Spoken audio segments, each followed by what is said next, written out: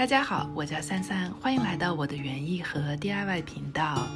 今天的视频里，我给大家介绍两种花：太阳花，还有黄色波斯菊，以及给大家看看太阳花如果不缺水的话，它是怎么样的疯长；还有黄色波斯菊是多么的好养。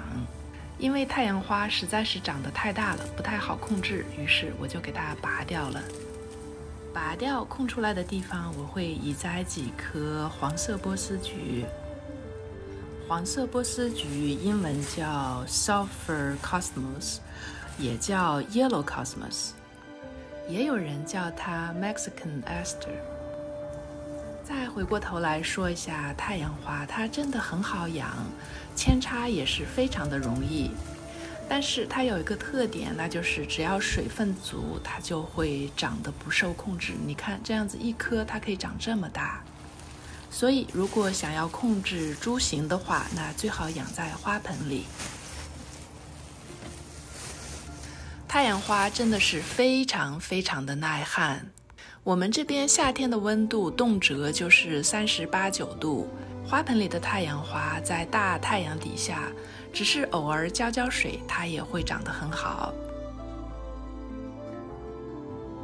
这些就是黄色波斯菊了，它的英文名叫 Sulphur Cosmos，也叫 Mexican Aster，也有人叫 Yellow Cosmos。这种原产于南美洲的草花是非常容易种植的。我的这些是从种子种起来的。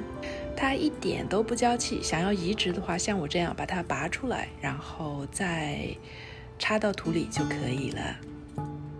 苗小的话不用管，如果苗大的话，我们可以适当的给它剪掉一点。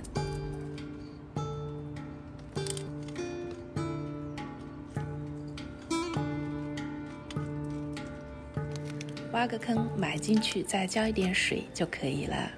黄色波斯菊是非常的耐旱、耐高温、耐土壤贫瘠的。身处炎热地区的朋友可以考虑种植这一款花。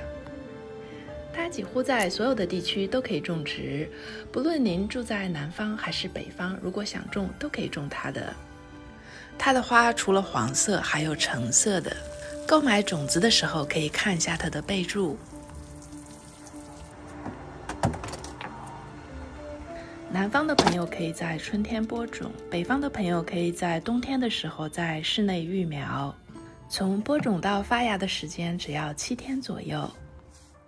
我们要把它种在全日照的地方，每天至少六个小时的日照。还有一点就是不要施肥，因为它天生耐贫瘠土壤的特点，在不施肥的情况下，它生长开花都会很好。如果我们给它施了肥，那它就会长得太高，容易倒伏。两周以后，我们看看这些移栽苗的生长情况。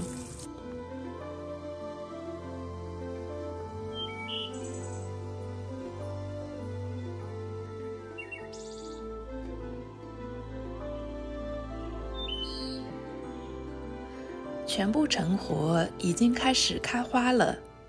这种黄色波斯菊，它也可以自己给自己播种，成熟的种子落下来，过段时间又是一颗。我们自己也可以收集它的种子。